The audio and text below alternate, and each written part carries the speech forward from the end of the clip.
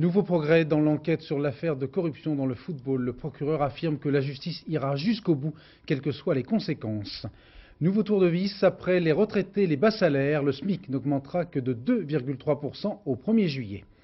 Simone Veil présente demain un nouveau plan d'économie des dépenses de santé. Tout le monde va devoir faire un effort, à commencer par les consommateurs.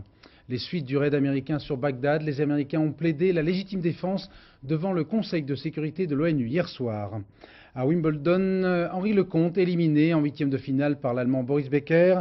Cédric Pauline affronte actuellement l'Australien Mazur. Il le mène 4 jeux à 3 dans le cinquième set. Madame, Monsieur, bonsoir. L'affaire de OM Valenciennes a pris un tour très sérieux depuis hier avec l'incarcération du joueur marseillais Jean-Jacques Edli pour corruption active. Les mauvais esprits feront remarquer qu'il n'est pas fréquent de voir un footballeur au ballon. Les enquêteurs continuent leur travail. Ils ont notamment retrouvé un relevé téléphonique qui témoigne d'un appel depuis l'hôtel où logeaient les Marseillais vers celui des Valenciennois. Ils ont également découvert d'autres éléments qui semblent renforcer l'accusation. Enquête de nos envoyés spéciaux Benoît Gadret, Gilles Balbastre. Quelques heures avant le match Valenciennes-OM, les joueurs marseillais étaient descendus dans cet hôtel. Et c'est dans une de ces chambres que Jean-Jacques Edeli aurait appelé les trois joueurs valenciennois pour leur proposer de laisser filer le match en échange d'une somme d'argent. L'hôtel est équipé d'un système téléphonique interne. Le juge d'instruction a donc pu saisir des relevés. Il y a la trace d'un appel particulièrement intéressant lancé à une heure qui correspond aux accusations portées par les joueurs de l'USVA. Un appel lancé euh, de l'hôtel où se trouvait euh, l'Olympique de Marseille à destination de l'hôtel où se trouvaient les joueurs de l'USVA. Autre élément matériel versé au dossier, un document retrouvé samedi par le juge d'instruction au cours d'une perquisition au domicile de Christophe Robert, un document important qui va lui aussi dans le sens de l'accusation.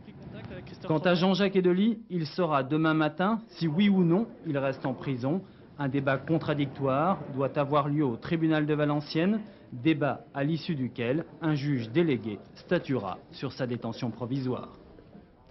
Les enquêteurs et le juge d'instruction attendent impatiemment et même très impatiemment, on va le voir, de pouvoir recueillir le témoignage de Jean-Pierre Bernès, qui est toujours hospitalisé à Marseille. Le directeur général de l'OM, qui apparaît comme l'un des personnages clés de cette affaire, se présente souvent comme le bras droit, voire l'œil et l'oreille de Bernard Tapie. Reportage à Marseille, Claude Sampère, Christian Leroux. Malade, imaginaire ou simple patient? Difficile de savoir ce soir avec précision quel est l'état de santé réel de Jean-Pierre Bernès. Le numéro 2 de l'OM se trouve toujours au quatrième étage de ce bâtiment, le secteur psychiatrique de l'hôpital Sainte-Marguerite.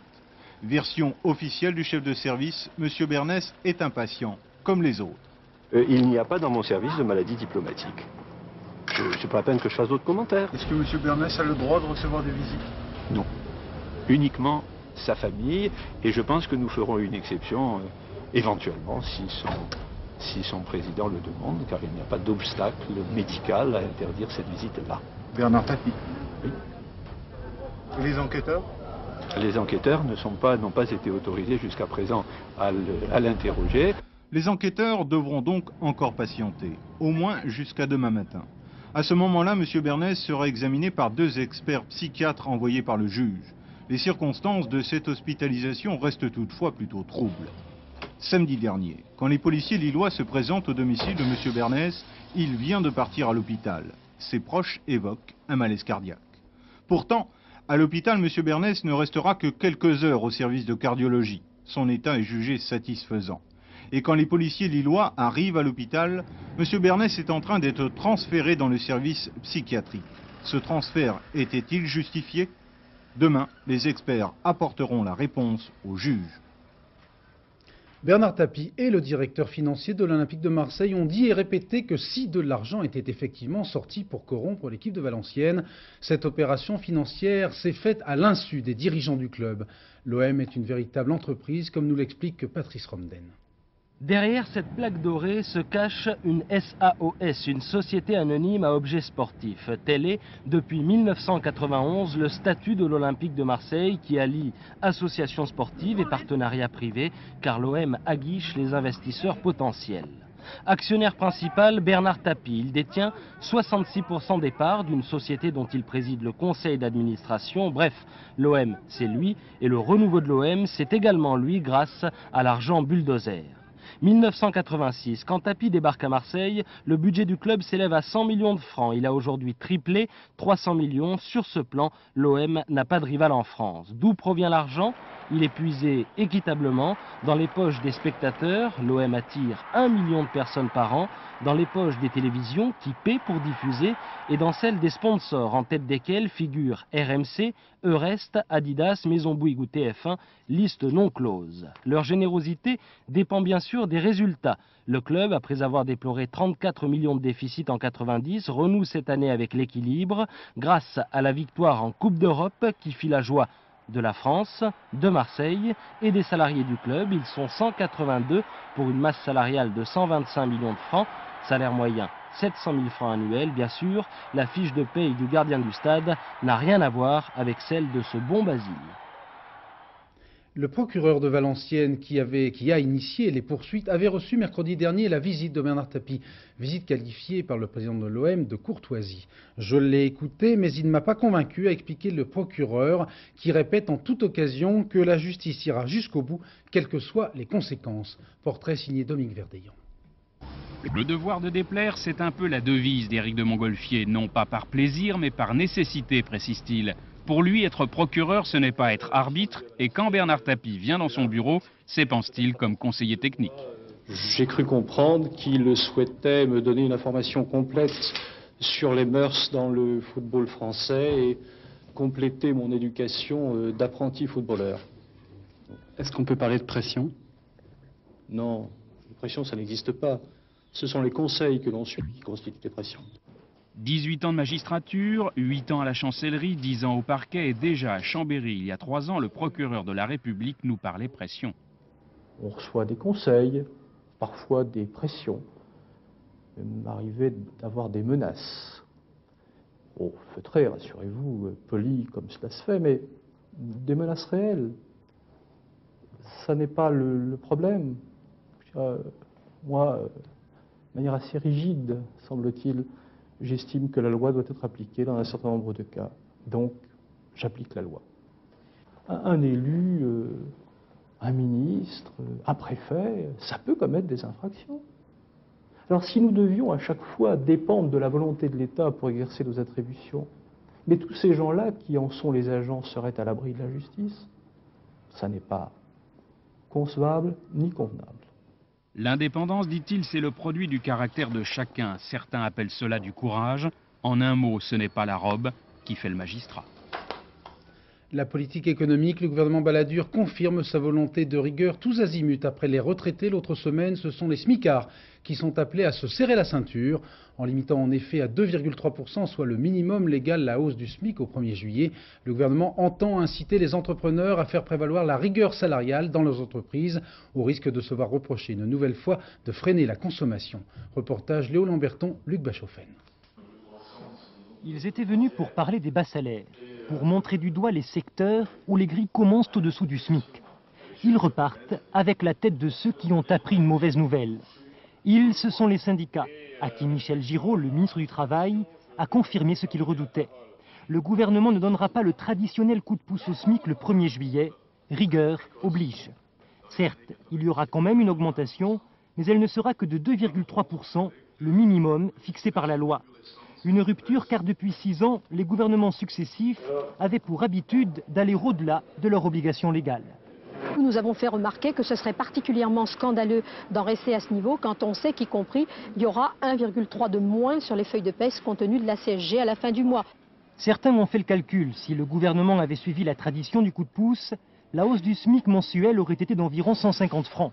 Le 1er juillet, il ne devrait augmenter que de 133 francs, ce qui l'amènerait à 5889 francs. Pour l'instant, rien n'est officiel. C'est mercredi prochain, après le Conseil des ministres, qu'on sera définitivement fixé. Rigueur tous azimuts également pour assainir les comptes de la Sécu. Demain, Simone Veil présentera un Xème plan d'économie des dépenses de santé. Tout le monde va devoir faire un effort, les caisses, les hôpitaux, les médecins, mais aussi les consommateurs, entre guillemets. Précision avec Véronique Auger. Simone Veil n'a encore rien lâché de son projet. Ce sont les députés RPR qui ont levé un tout petit coin du voile posé sur la réduction des dépenses de l'assurance maladie. Un dossier explosif. Le gouvernement a, semble-t-il, renoncé à l'artillerie lourde. Il n'y aura pas de franchise sur les ordonnances et sur les médicaments. La mesure était trop brutale pour les malades et pour l'industrie pharmaceutique. Idée retenue, le ticket modérateur devrait augmenter de 5 points. Ce ticket, c'est la partie qui n'est pas prise en charge par la sécurité sociale. Exemple, une consultation chez un généraliste serait remboursée à 70% et non plus à 75%. Autre exemple, un médicament remboursé aujourd'hui à 40% le serait bientôt à 35%. Une incertitude demeure, on ne sait pas si le gouvernement a décidé de toucher aux maladies remboursées à 100%. Les autres mesures porteraient notamment sur un relèvement du forfait hospitalier, actuellement à 50 francs. Objectif du gouvernement, la sécurité sociale a 18 mois pour réaliser 30 milliards d'économies. Les suites du raid américain sur Bagdad. Hier, le Pentagone affirmait que le commandement des services secrets irakiens était complètement détruit.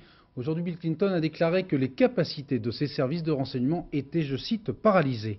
Hier soir, les États-Unis ont défendu leur dossier devant le Conseil de sécurité des Nations Unies en plaidant la légitime défense. Commentaire de notre correspondant à New York, Bruno Albin.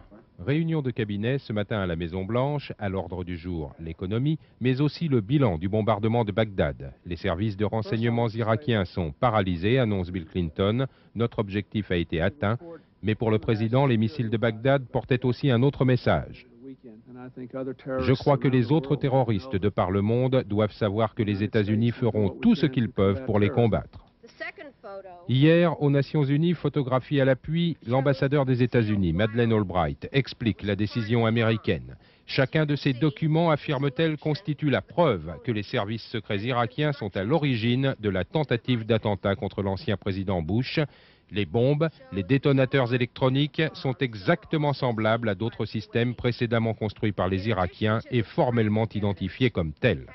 À l'ONU, les Américains ont reçu plus de témoignages de compréhension que d'approbation, mais personne n'a condamné leur initiative.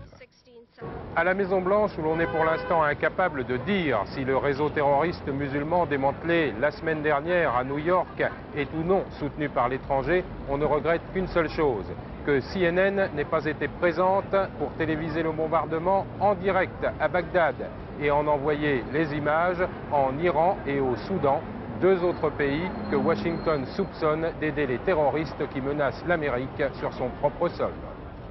Dès hier, Philippe Seguin avait exprimé, je le cite, un sentiment de malaise, le président de l'Assemblée, expliquant qu'il aurait préféré que les Américains aillent d'abord argumenter devant le Conseil de sécurité avant de frapper Bagdad.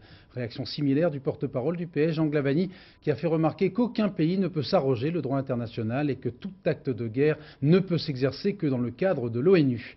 Des réserves balayées du revers de la main, la Maison-Blanche ou Philippe Arwar, on se dit très satisfait de ce coup de poing américain. Bien sûr, le message vengeur de Bill Clinton a été reçu 5 sur 5. On ne touche pas à l'Amérique. Le président américain joue les Rambo. En son temps, cela avait fait monter son prédécesseur au fait des sondages.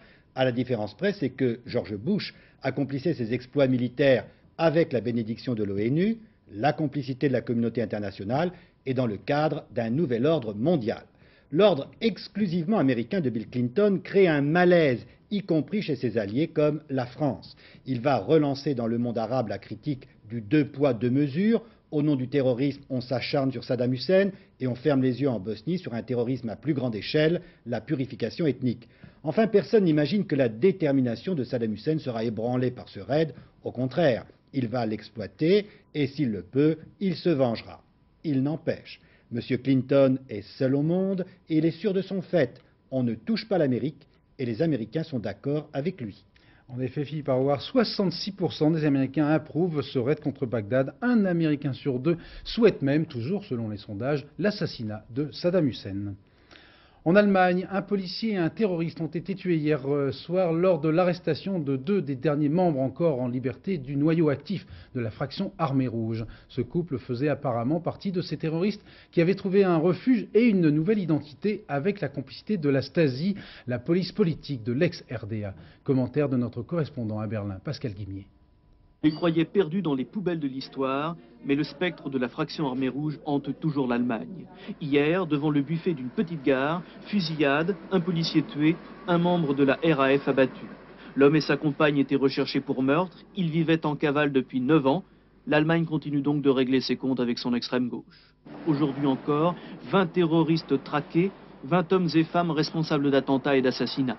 Le dernier en date, celui qui coûtait la vie au président de l'Office des privatisations, c'était au lendemain de la réunification.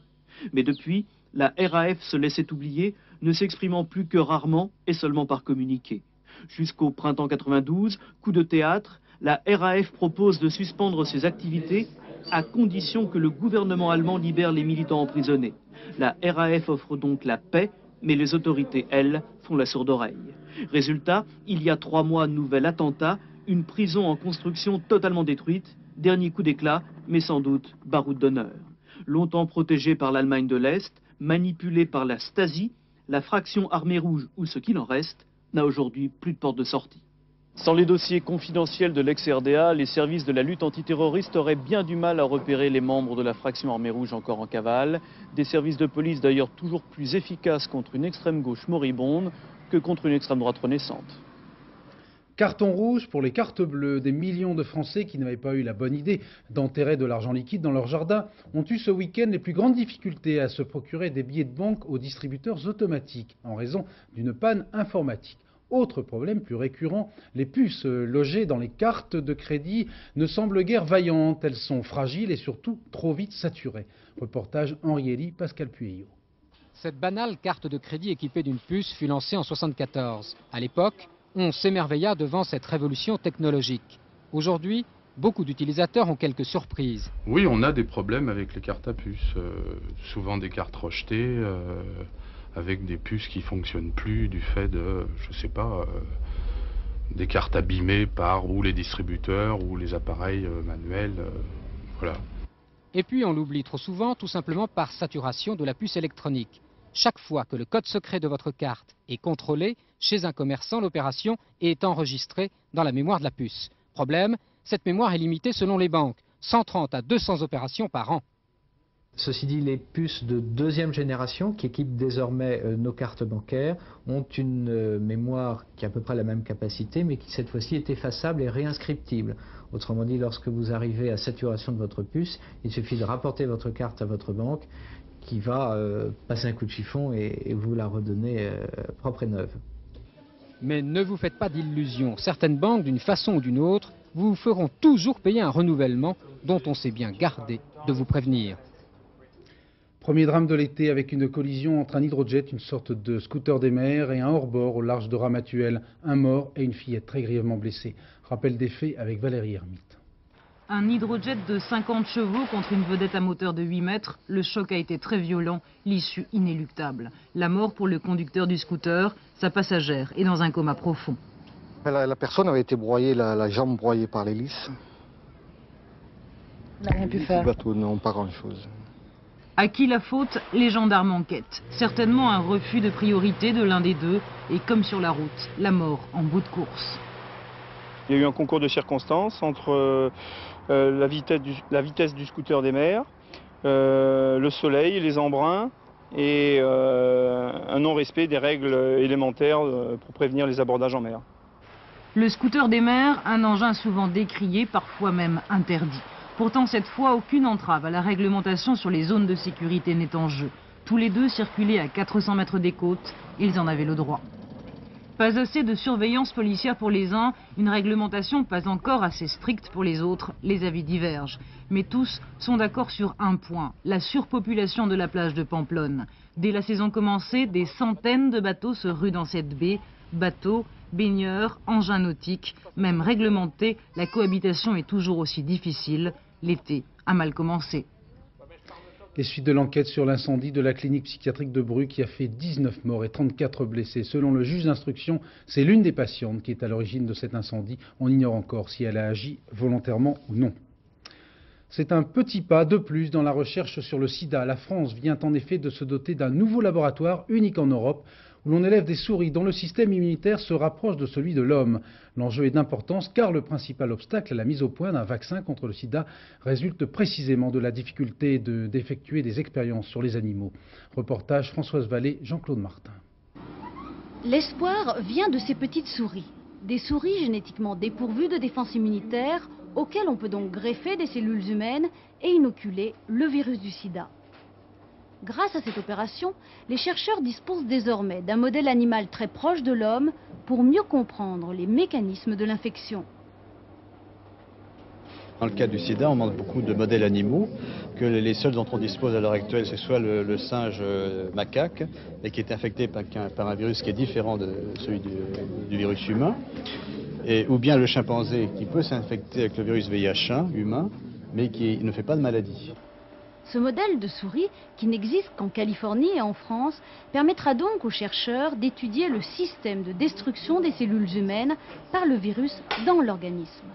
Autre objectif, dont l'enjeu est d'importance, tester in vivo les nouvelles thérapeutiques et les éventuels vaccins contre le sida.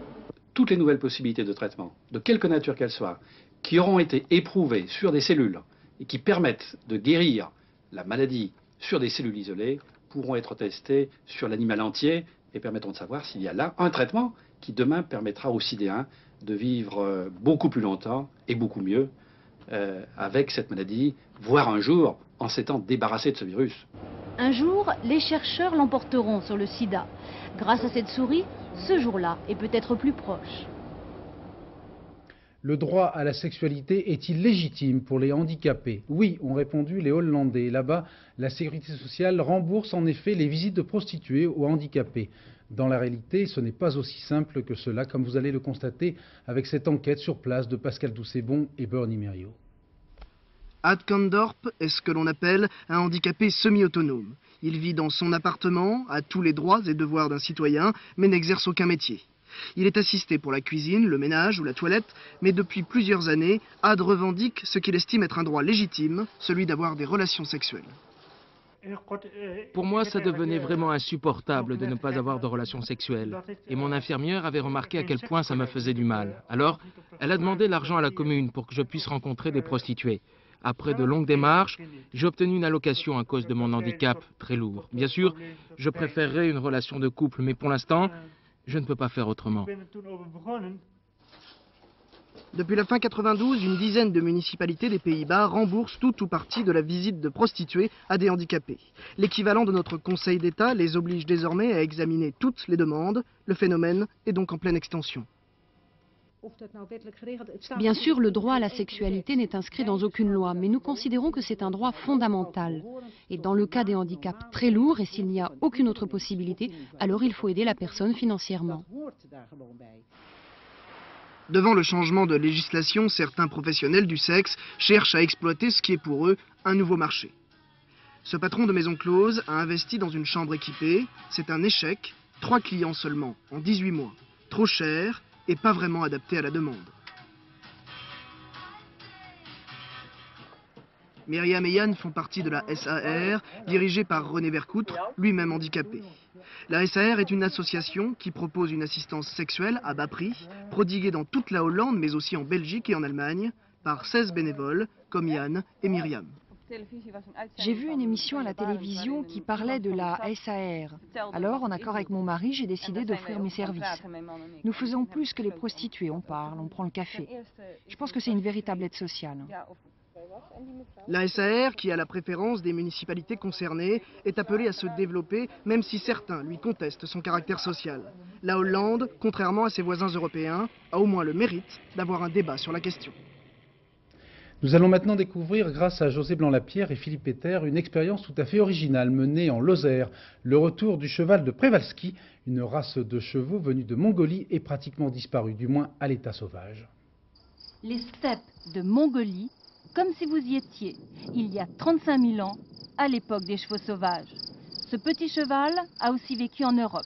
Sa dernière trace, la voici gravée dans les grottes de Lascaux. Le cheval de Prévalski a disparu. Ceux-ci viennent de différents zoos d'Europe. Sur les plateaux désertiques de la Lozère, ils vont réapprendre la liberté. Une semi-liberté dans un enclos de 600 hectares. S'ils s'adaptent à leur nouvelle vie, si la maladie ne les décime pas, alors un jour, leurs poulains pourront repartir dans leur pays d'origine. Ce qu'il faut savoir, c'est qu'une expérience de réintroduction d'un animal sauvage, c'est quelque chose de très long. C'est très facile de faire disparaître une espèce de la planète, c'est très difficile de la réintroduire. Toutes les expériences de réintroduction animale qui sont en cours ou qui ont réussi jusqu'à présent, il y en a encore assez peu, se sont étalées sur euh, des périodes allant de 25, 30, 40 ans. Ceux qui risquent d'être surpris, ce sont les paysans durent la parade. Car avec les chevaux, c'est une nuée de scientifiques qui va débarquer. Vous connaissez le nom de ce cheval? Oui. Euh... Oh, je m'y perds. Euh, comment ça s'appelle? Euh... Je ne me rappelle plus du nom. Stavovski, Stavovski. je ne sais pas, je ne me rappelle plus. Pourquoi est-ce que vous avez accepté cette expérience Parce qu'on n'avait pas d'autre choix devant nous. Et qu'on avait peur qu'il nous arrive quelque chose de pire. Il y a des investisseurs qui peuvent arriver et faire un peu n'importe quoi sur le Cossé-Méjeune. C'est la crainte qu'on avait. Et puis, énorme avantage, le cheval de Przewalski, comme ses nouveaux voisins les moutons, ne détruit pas le paysage, au contraire. Avec eux, la Lozère peut être sûre de rester la dernière steppe d'Europe. Wimbledon rime décidément avec malédiction. Boris Becker a en effet encore euh, frappé. Il a frappé Henri Lecomte. C'est la troisième fois que l'Allemand élimine le Français du précaré du tournoi londonien et à chaque fois en 4-7. Laurent Frédéric Bollet. Un peu sévère, la duchesse de Kent, et pourtant sous ses yeux un superbe match qui, dès le premier point du premier jeu, montre sa tendance. Un retour gagnant de Becker, l'Allemand excelle dans ce compartiment du jeu. Son revers fait des merveilles. Le comte, comme d'habitude, réplique par des coups de patte dont seul il a le secret.